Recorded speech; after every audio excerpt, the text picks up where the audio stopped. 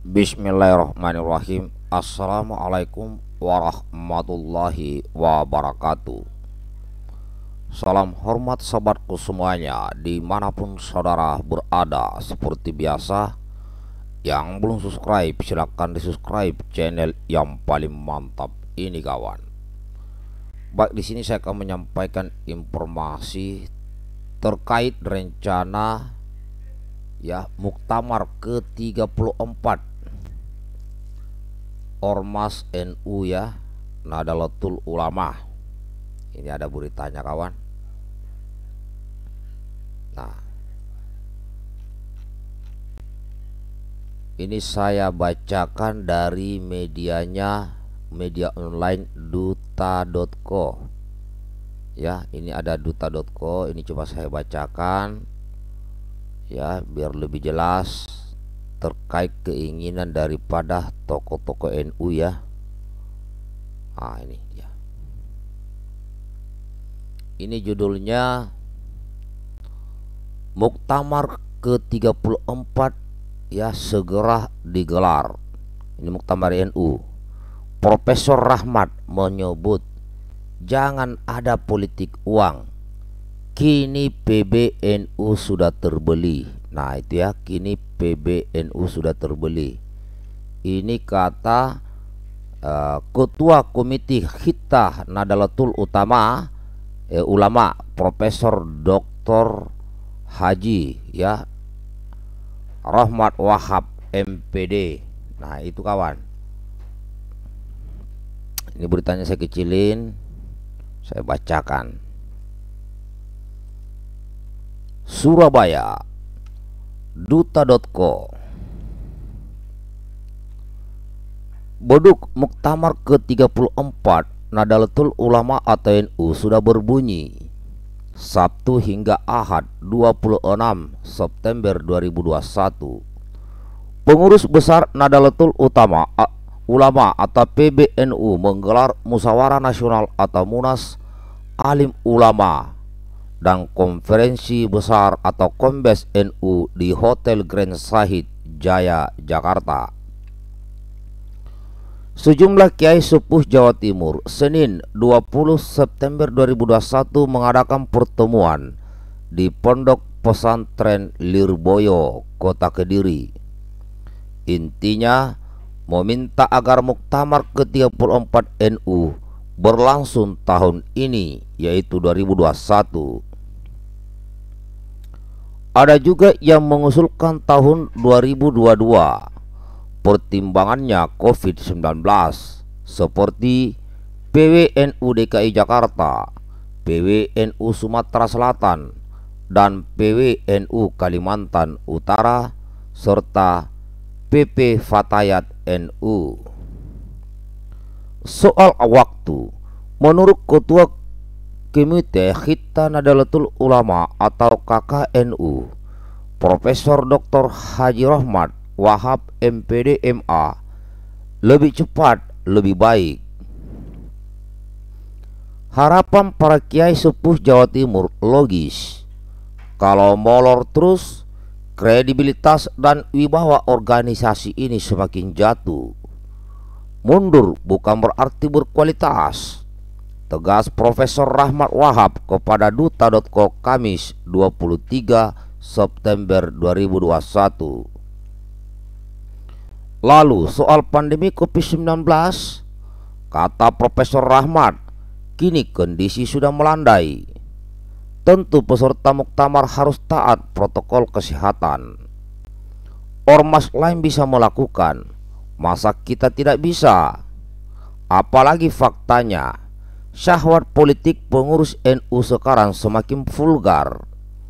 Ini berbahaya bagi NU ke depan. Tegas Ketua Tamfid Siap Pengurus Wilayah Nadalatul Ulama DIE masa bakti 2011-2016 ini. PBNU sudah terbeli. Profesor Rahmat kemudian menyebut banyak hal yang harus segera mendapat koreksi dari perilaku oknum pengurus NU. Dalam pandangannya, diam-diam PBNU sekarang ini sudah terbeli. pengurus NU lebih suka bersenang-senang dengan kekuasaan, jabatan. Akhirnya NU seperti setempel penguasa. Pengurus NU senang ketika ormas ini mendapat lahan 10 hektar. Sementara kita diam ketika ratusan warga NU dalam ancaman seperti dialami Rocky Gerung. Ini jelas bukan NU yang diinginkan Mbah Hasim, Mbah Wahab, dan Gus Dur. Jelasnya. Masih menurut Profesor Rahmat, kondisi seperti ini berpotensi besar munculnya praktek politik uang. Padahal ini harusnya kita lawan. Dan ini semua keinginan kita membangun peradaban baru yang menjadi komitmen NU dalam memasuki abad kedua kelahiran NU. Sekarang ini momentumnya sangat tepat bagi generasi muda NU mengambil alih estafet kepemimpinan NU ke depan. Bersihkan politik uang dalam segala proses suksesi kepemimpinan NU di semua level. Jika kita bisa mewujudkan bersama-sama, maka ini kontribusi, kontribusi besar terbangunnya NU yang sejalan dengan kita NU. NU sebagai institusi membangun peradaban tinggi butuh kepemimpinan berintegritas tanpa dibebani dosa masa lalu yang semakin menggurita. Terangnya, sekarang ujarnya, semua kader NU punya hak mencalonkan dan dicalonkan. Saat ini adalah waktu yang tepat melakukan filter terhadap calon-calon yang akan membangun NU ke depan sekaligus memberikan dukungan kepada kader-kader potensial yang bisa mengakselerasi kemajuan NU di masa-masa yang semakin sulit. Di tengah-tengah era disrupsi atau perubahan besaran besar-besaran ini. Tak kalah penting, Profesor Rahmat juga menyinggung pimpinan NU yang suka liar, mengobrol wacana dan membingungkan umat. Ini bisa berakibat fatal karena masih kacaunya pemahaman terhadap agama. Sangat merepotkan Nadiyin dalam menjaga martabat NU. Pimpinan NU itu kalau bicara harus memilih diksi yang tepat dalam mengartikulasikan gagasannya. Jangan hanya ingin seperti Gus Dur, tetapi kecerdasan tidak sama dengan Gus Dur.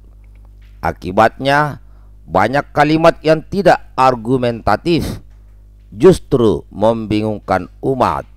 Pungkasnya. Nah, ini sahabatku.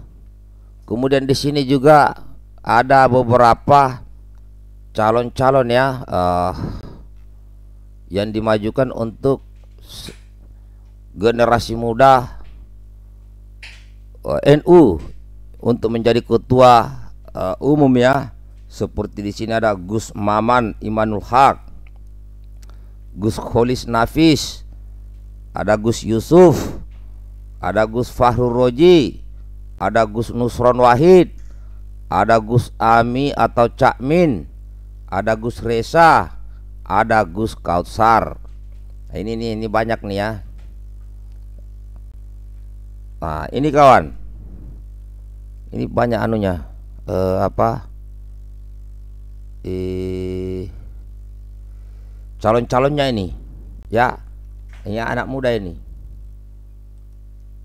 Pemudanya. Ya, mudah-mudahan ke depan apa yang disampaikan dengan Profesor Rahmat ini ya Mudah-mudahan NU tidak terbeli dan di sini ada penekanan dari Profesor Rahmat ya kan? Ini tak kalah penting ya ini saya ulangi lagi. Ini agak besar dia tulisannya nih. Eh, biar tahu lah ya. Ini ada tulisannya agak besar kenapa lagi dia ya.